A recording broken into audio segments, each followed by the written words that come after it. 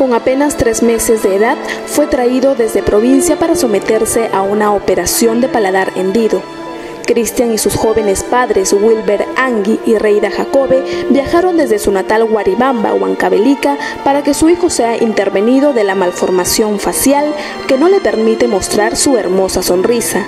Wilber me cuenta que es su primer bebé y que se siente feliz de concretar el sueño de ver a su hijo totalmente sano. Un poco alegre, yo sé que mi hijito va a estar eh, de acá a poco tiempo sano.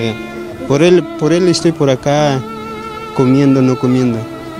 El paladar hendido es un mal congénito y se trata de una fisura o apertura en el paladar superior que según estadísticas del Ministerio de Salud afecta a uno de cada 700 o 750 recién nacidos. El joven padre no puede creer que ya en dos días por fin será sometido a la operación que le devolverá la sonrisa a su Cristian. Wilber, emocionado, le habló a su pequeño. Yo sé que tú vas a estar más alegre cuando vas a crecer.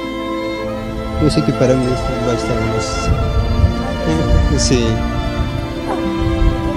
Sí, yo lo quiero mucho, mi hijito.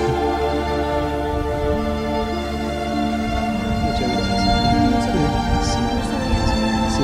Cristian será operado gratuitamente en el marco de la campaña internacional de cirugía plástica que realizarán médicos provenientes de Estados Unidos en convenio con el Hospital Sergio Bernales de Comas. Y, uh el nombre de su bebé, su ciudad